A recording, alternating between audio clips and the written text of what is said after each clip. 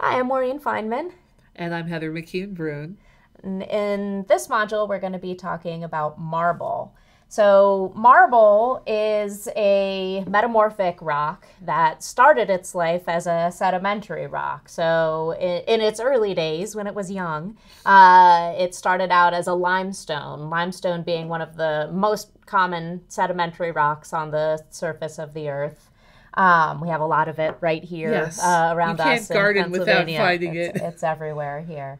Uh, both limestone and marble are made almost entirely of the mineral calcite. So we talked about calcite a little bit in the in the uh, alabaster module. Here we're going to be looking at it in a case of uh, marble being composed almost entirely of calcite. Um, really neat neat mineral. I have a, a nice specimen of it here so you can see again how that crystalline structure in this case we're in the in the hexagonal crystal system um, stacks upon and upon itself to give us these nice rhombic shaped crystals um, that cleave perfectly along three different uh, axes or three different crystal dimensions.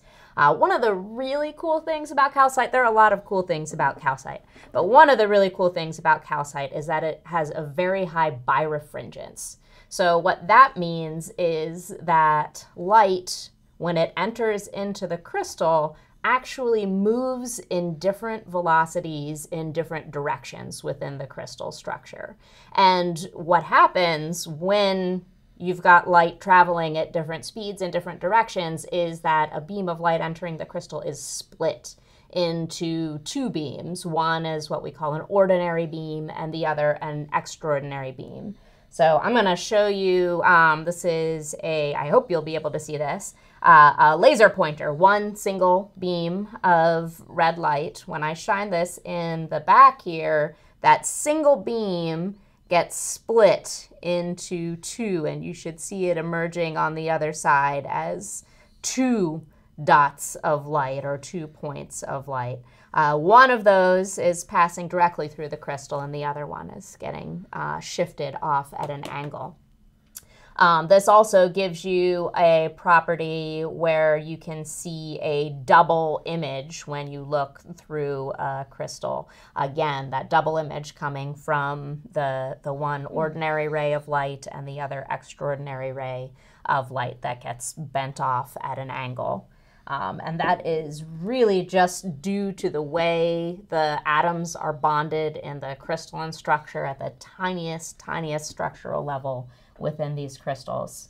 Um, so once this limestone, made up of calcium carbonate, is subjected to high pressures and temperatures inside of the earth, for example, in a mountain building situation where you have two plates that are pushing into each other and pushing up mountains, uh, the calcium carbonate simply recrystallizes to form larger, uh, more nicely shaped crystals and that gives you um, very often what we call a sugary texture in mm. the uh, in the well-developed marble. Uh, very in the case of a very pure calcium carbonate, will give you very white. You can see uh, so this beautiful pure white, like very sugary um, marble here. This one has a little bit of this gray streaking through it is also pretty common in marbles. That gray is actually graphite. So the calcite being calcium carbonate, carbonate the um, graphite being simply carbon, and that can be either leftover organic carbon from its sedimentary days, or that can be carbon that's being reduced out of the calcium carbonate by deprivation or um, by having the oxygen removed from the from the carbonate there. So we have a soft mineral uh, calcite with a hardness three, a little bit of graphite in there with it with a hardness of one, um, all carbon carbon based coming together to make either in its purest case that very snow white marble or in some cases the beautiful silver streaked marble with graphite in it.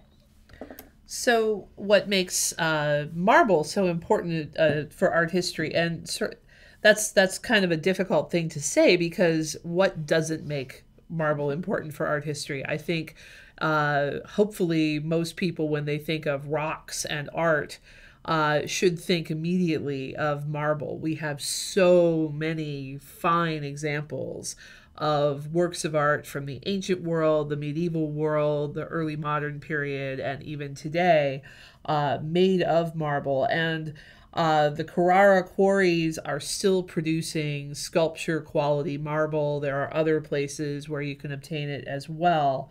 Um, and part of what makes this such a desirable material is that, like alabaster, it's fairly easy to work. It's not quite as easy as alabaster, but you can get a fineness of detail, and that crystalline structure means that uh, you can play with texture in marble.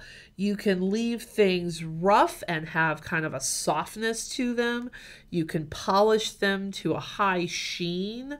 Uh, and think of, say, a marble cutting board or a cheese board that you might have that tends to be heavily polished. Um, or this tile here that I got from an importer in Cleveland, Ohio. Um, you can get different effects from uh, different treatments of the surfaces. And so you can imitate human flesh, you can imitate uh, something hard like a shell. And this is something that has been exploited by sculptors for centuries.